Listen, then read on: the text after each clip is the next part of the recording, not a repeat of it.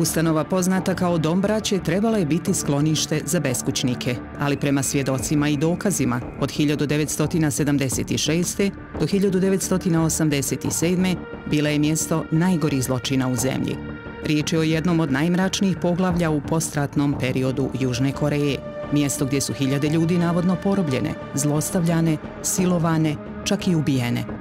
Ne propustite ovaj film iz dva dijela o preživjelima koji se više od 30 godina bore za pravdu.